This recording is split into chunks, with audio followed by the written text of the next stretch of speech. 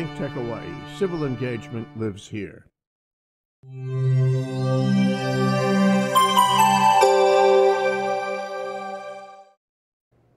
Okay, bingo, we're back. it's the one o'clock rock. I'm Jay Fidell here on Think Tech, and we're talking about what are we talking about? Community matters. And today, ooh, good topic carbon tax, the carbon tax in Hawaii. How would it work? What would it do? With Tom Yamachika, the president of the Tax Foundation of Hawaii.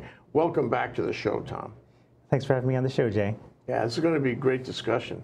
So, first of all, what is the carbon tax? I mean, it's, it's taxing carbon. Is that what it is? Yeah, well, the, it's, it's, it's kind of a variation on, on fuel taxes. You know how uh, we, we pay for uh, you know, various things when we, when we fill up at the gas station.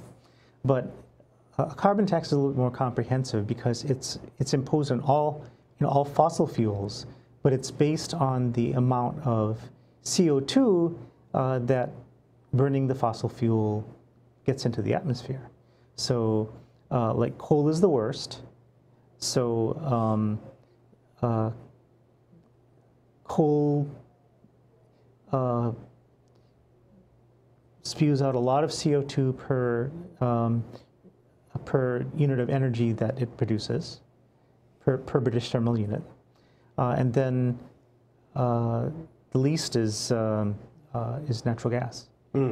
So there's kind of a spectrum between, uh, you know, those those two extremes, and uh, where where it falls uh, gives you the amount of tax that is put on the um, on the product. So Now- you you have to have a, a list of things. Uh, you have to sort of a spectrum of how much carbon is in this or that or the other thing. And uh, am I right about this? So you have different kinds of coal that's right. di- and d- different emissions from different kinds of coal. So you have to include multiple coal products on the spectrum, right? Right, as, as you would with uh, natural gas, gasoline, uh, naphtha, uh, other kinds of uh, you know, hydrocarbon you know, refined products. Why do, why do I feel that's hard to actually enforce? Because you got to have self-reporting. You can't have the carbon man come out to see you and say, "Hmm, how much carbon are you spewing out today?" No, but, but what, what the Tax Review Commission, when, when they looked at the issue about a year ago, they, they, they said, well, it's, it's not that tough because there are only a, a number of people uh, that are fuel distributors. And, and you, and you uh, like the way uh, you now impose fuel tax, you enforce the tax at the distribution point.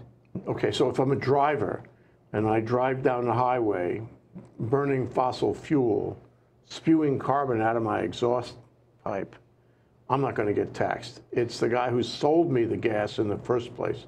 That's He's right. going to get taxed. Right, it, will be the, the, the distribution point. It's so- only one incident of tax in the, in the chain of distribution. Right. But, but, but the interesting part about it is like the way we have our system here. There are already four different types of tax that apply to fossil fuels. Okay. The, we have a liquid fuel tax. Okay, and that's for, that's for a highway fund. Uh, so every, anytime you go down to the, to the pump and you pay for gas, there's X number of cents uh, and, and, and that's actually the first two types because not only the state, but the county gets to impose liquid fuel tax. Okay? Okay, And that's, and that's for either the state highway fund, county highway fund. and, and that would only apply to fossil fuel, ordinary gasoline kind of fuel. Yeah, liquid fuel that's used to, pro- to propel a, a, a motor vehicle on the highways. Suppose it's biodiesel. Uh, And there's carbon in biodiesel too. Don't get me wrong. yeah. But so okay. Anyway, so Yeah, I'm, I'm not sure what the tax rate for that is. I mean, they have different tax rates for, for different types of liquid fuels, but that, that's under current, under current law. Okay, so uh, then there's what's called the barrel tax. Okay, and that is not limited to liquid fuel. Uh, so that applies to, uh, you know, coal, natural gas, um, anything that can be burned for, you know, for, for fuel, anything that's classified as fossil fuel. Uh, and uh, it's it's applied to uh, to to gasoline on a uh, per barrel basis. Uh, I think I think it's a dollar five per barrel, and then on a BTU equivalent basis to any other fuel, What's the last one? Uh, any other fuel, Any other fuel? any other fossil fuel. Okay, oh, I see. Okay. So when it's gasoline, it's on the basis of a barrel and call it the barrel tax. And then it also applies to other fuel as well. Yeah, on on a what uh, on an equivalent basis based on the amount of energy that it produces. BTU. Yeah, Okay. right. Okay, so that's the third. And then, of course, the fourth is GET, because it applies to everything. Okay. So we, so we have these four taxes that now apply to, uh, to fossil fuels. Okay, and this carbon tax would add a fifth. So if I, if I buy a gallon of gas at the pump and say it costs me, I don't know what it costs now, $3.75 or something, I don't know, whatever Yeah. it is. How much of that is going to go to the, the four taxes you mentioned? Uh, actually, quite a bit. I, I mean, I, I haven't, you know, sorted all of it out, but I think um, uh, more than half. Wow. I think more than half would go to Wow. taxes. Okay. So now the fifth tax, that would be the carbon tax. Right. And the carbon tax would, that would again be on the distributor? Right. Rather be- than me as the it would be paid by the distributor. So, uh, but but it would be, of course it would be reflected in the price that you pay at the pump Okay. when you, when you drive up to the to the uh, uh, you know the gas station and look at the pump and go, oh boy, I got to pay this much. Yeah. Yeah. Okay. So, and that, and that's on anything that emits carbon. And there'd be a spectrum of rates there too? Right. On how much carbon you're emitting from a given fuel or product or whatever. Yeah. Yeah. Um, does, does, it, does it go beyond fuels? I mean, somebody once made the argument, at the time I thought it was really off the wall, but that um, we, we bring in furniture with oil on it. Yeah. Uh, would, would it go to the oil on the furniture? Uh, not yet. But I mean, again, it depends on how the tax is written. Because, like, for example, um, there is a federal tax on ozone depleting chemicals. You, you know, like, uh, so if you, if you buy a, a refrigerator or a, um, or a freezer, there, there are uh, these freon gases that, In the refrigeration system. that's right. So that's taxed on a federal level.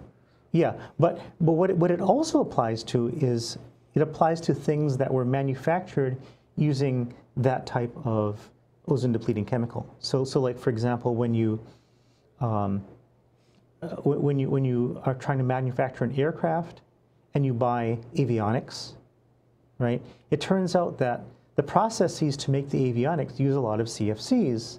So there's a lot of ozone depleting chemical tax imposed when you import avionics. Okay, so that, that is taxed to the manufacturer of the avionics? Yeah, or whoever whoever brings it into the country, basically. Okay, and then that means that ultimately the, the, um, the airline will pay, you know, as it, it'll, it'll fall down to the airline and ultimately it'll fall down to the passenger Right. because we have to pay for what he pays and so forth down the chain. Okay, Yes. that already exists, huh? That already exists. And that's been a successful tax in the sense that we don't have so much uh, ozone anymore. well, um, that's that's debatable, but at least the tax is there. Okay, all right. Carbon is a problem not solved at all. That, that's right. And uh, you know, getting people to buy into a carbon tax has had some problems. Uh, for example, in, in, in, in France, you know, the, the, city's now turned into an inferno because uh, the French president uh, had proposed this new carbon tax, I mean, it, which, which amounts to like maybe 25 cents a gallon. Okay, but, but you know, uh, uh, people wearing these, uh, you know, yellow vests, uh, Gu- gilet jaune, yellow vests. yeah, they, they, they, they went into the street, you know, started torching things, you know, flipped cars over, total mayhem, total mayhem in I, Paris. I really wonder. And, and then, of course, he, he backed off on that, um, but they still protested anyway, and the protests continue. And uh, I don't know how he's going to, you know, bring things back to balance. Well, yeah, I mean, he, he, he said he'd um, uh, he'd hold off on enforcing the tax for like you know uh, he, he said let's have a moratorium, but that means it comes it's, it's coming back, Sure. right? So I think that's the part they didn't like. You know, that's the problem. I mean, we have COP24 is going on right now in Poland, um, and which should be more advanced than COP20 or 21 a few years ago. Um, I think Donald Trump has really gotten in the way of, of, the, um of the COP meetings and, and efforts to ameliorate global warming. And here Macron goes out and he, he, he actually tries something on a national level for France, and this is what he gets for his trouble. Uh, so people are really not committed to dealing with global warming and carbon in the atmosphere. Are Yeah, they? you know the, the way uh, the way it has been described it's, it's, it's kind of it's kind of very telling. I mean, you know, we're, we're glad we have leaders that are thinking about the end of the world and trying to prevent the end of the world, but most of the people are trying to make it till the end of next week. They got to pay, you know, they got they, they got they to pay uh, to put it put food on the table. Uh, they got to pay the rent. Uh, they they have to, uh, you know, deal with you know keeping the lights on. You know, uh, a lot of these causes are not really resounding with those types of people. I mean, if you live in the suburbs, which a lot of you know working people do, you got to pay for gas yeah. to, to, to, to go to work. Um, uh, and, and, and, and, and don't tell me, yeah, they can ride rail. You know?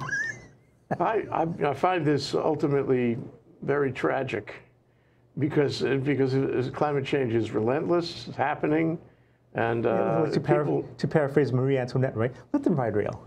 sure, yeah, yeah, let them eat cake too. so uh, you know, leadership means trying to make the people understand. You know, it's it's like rail in Hawaii because in Hawaii the government foisted rail on the people before the people knew what they were getting into. And that's why there's all this contention, in my view.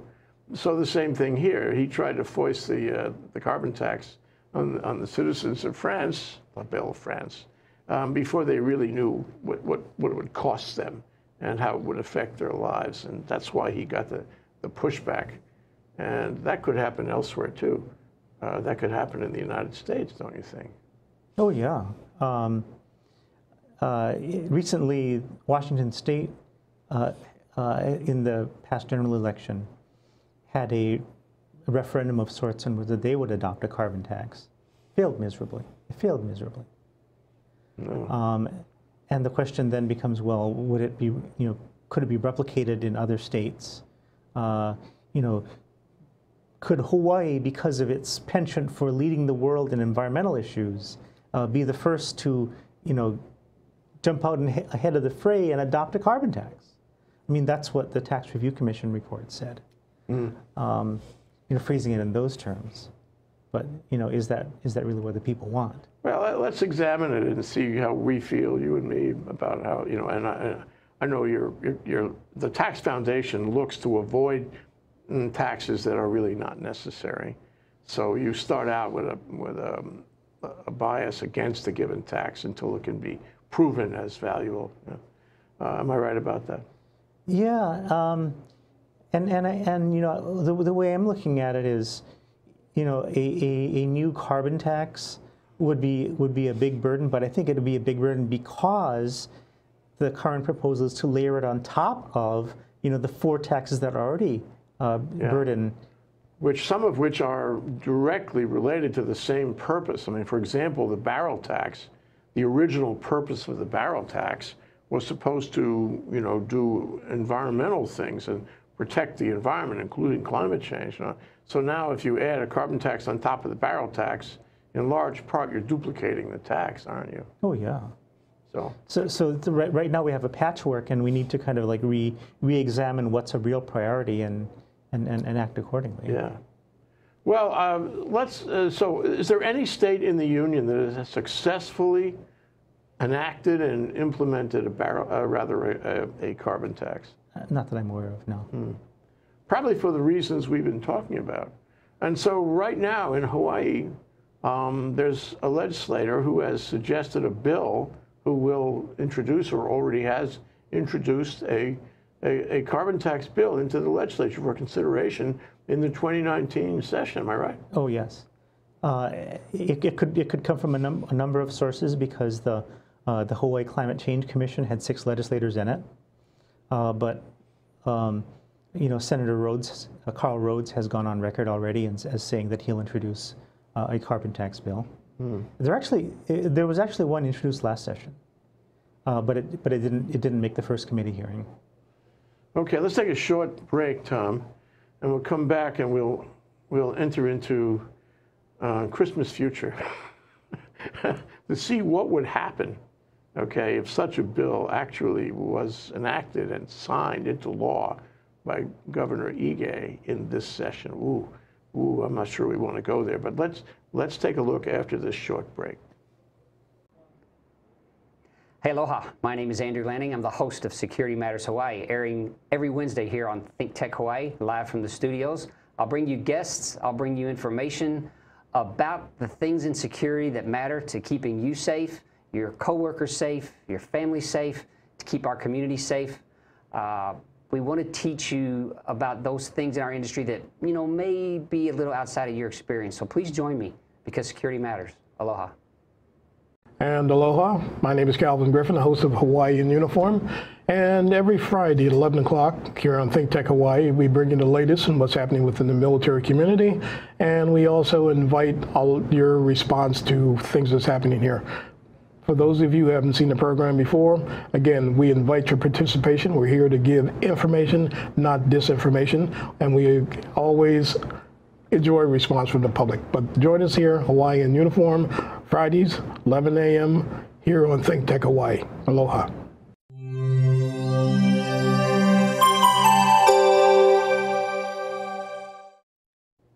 We are so happy to be here with, uh, with Tom Yamachika of the Tax Foundation of Hawaii, talking about the possibility of a carbon tax, which has been a discussion for a long time, but I don't think people really know how it would work. So let's assume, I'm making a lot of assumptions, you can correct my assumptions. Let's assume that this, um, the, the people concerned in the legislature with climate change want to enact a barrel tax. I think that's a I'm safe sorry, a carbon tax Yeah. this year. Um, and let's assume that it, it passes both houses and all those committees, whatnot, and, and the governor signs it. What, what do you think it would look like, this carbon tax? Well, you know, uh, let's let's kind of pause a little bit before we get all the way to the finish line.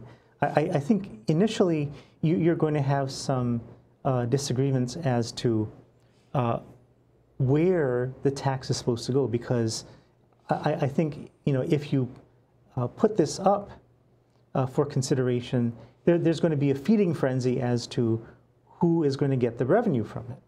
Okay. What are the possibilities? Department of Transportation, for example, uh, they get the fuel tax now. So They get part of the barrel tax too, I think. uh, no, No. Oh, that's right. They wanted it but they but the they, last but they session, didn't but get they it. never got it. Yeah. Okay.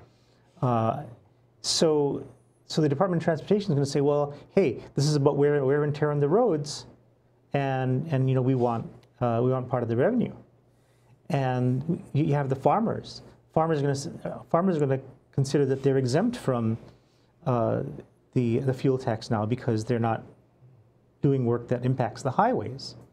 And so they say, well, why, why should this, this fall on us? And, and uh, you know, the, the other side of the story is, well, you're running machinery.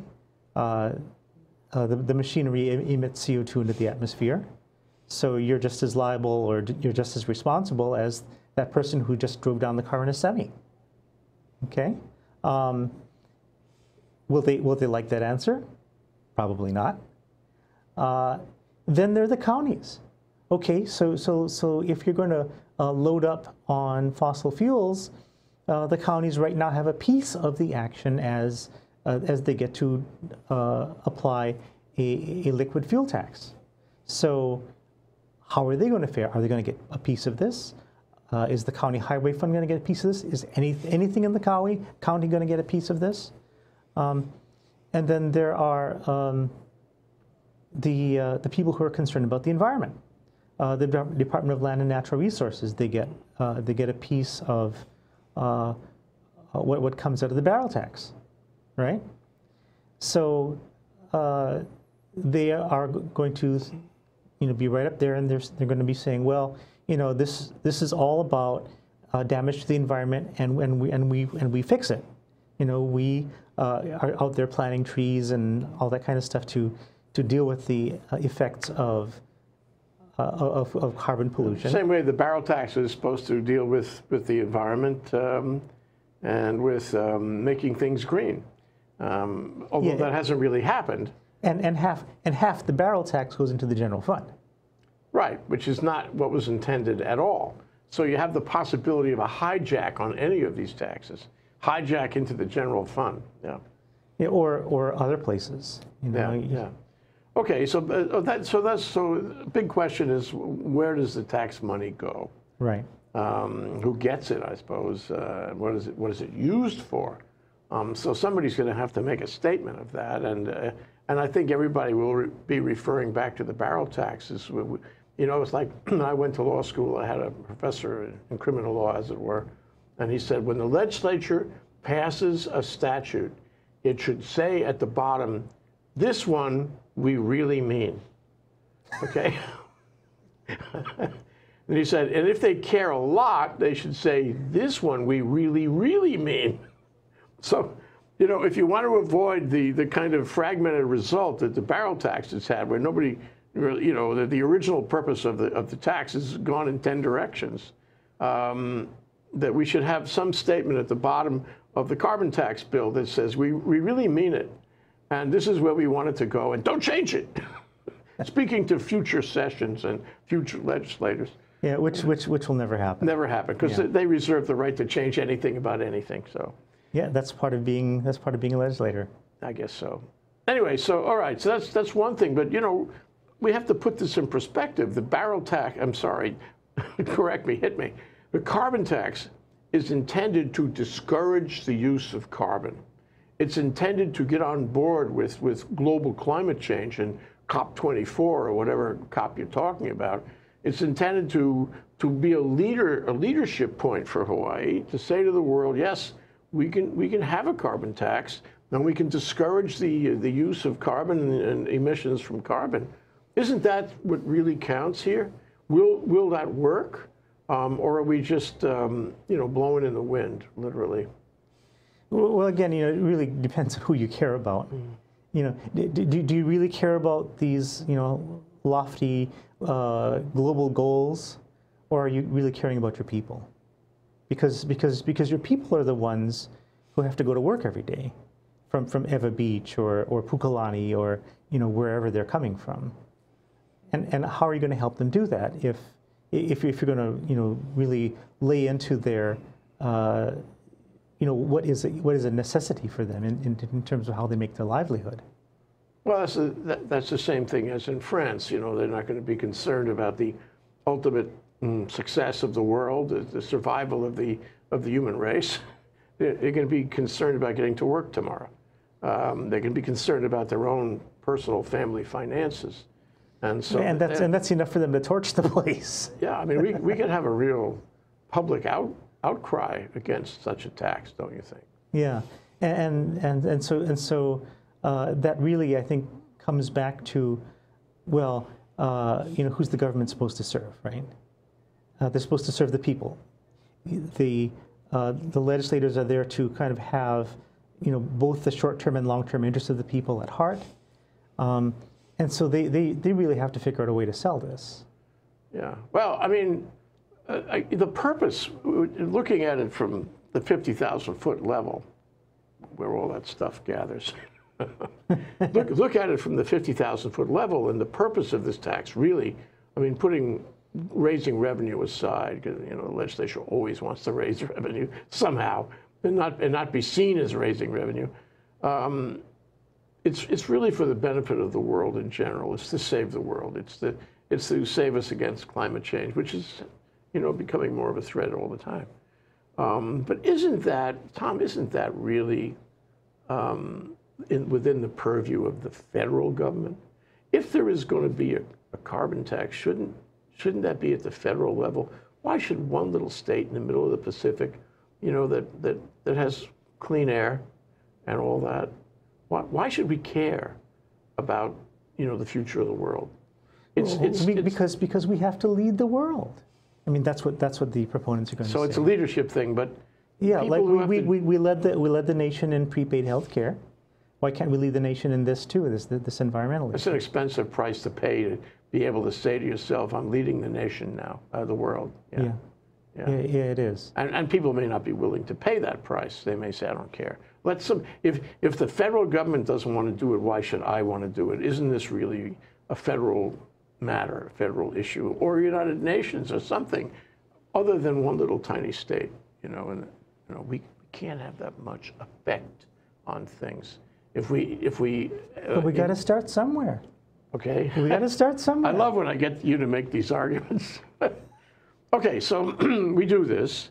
Uh, we set a price on it, and the price is intended not so much to raise revenue, but to discourage people from using carbon products, emitting carbon. Okay, and that would help in reaching 100% by 2045. It would help uh, to move to electric vehicles, probably on the highways. Uh, it would help. Well, I mean, you know, electric vehicles. Let's let's kind of not go there just yet because uh, electric vehicles just take the electricity that's produced by somebody else. Of course. Okay, and and the uh, the electric companies. It depends on how they generate the electricity. Yeah, right now they right now they burn bunker fuel, Right. which is uh, which is a fossil fuel, as you as you are well aware, Yeah. and probably has more hydrocarbons, uh, you know, per uh, per squ- per cubic inch than uh, than even regular fuel. I mean, a, a- a regular. So it's a mixed bag Yeah. to say uh, we're going to impose uh, a carbon tax on, on gasoline, or we're going to, in order to incentivize electric vehicles when the electric vehicles are running on another kind of fossil fuel. That may change in the future, but for Yeah. now it's, it's hard to make that case. Uh, so, I mean, my, my gadfly question I posed to you earlier still stands. Exactly why would we want to do this? I mean, if the, if the legislature wants to raise revenue, why doesn't it just increase the income tax? That's less regressive, isn't it? Um, It seems more fair to a state where you have And, all and this that's and that's diversity one of the income. that's one of the biggest problems of a carbon tax. It's regressive. yeah. Yeah, um, it, it's it's it's not going to hit uh, you know the wealthy harder than the uh, the middle class. It'll it, it'll be the or the lower middle class. It'll be the other way around. Yeah. Okay, so here we have, just drawing a geographical map. I don't know if this is happening in Europe. Obviously, it's not happening in France right now. um, and There are other countries that have adopted it. There are. Okay, Yeah. well, good for them. Points for them. Do you know the countries? Uh, I think Japan is one. Uh, there are some other European countries that have. Uh, I think just just a handful.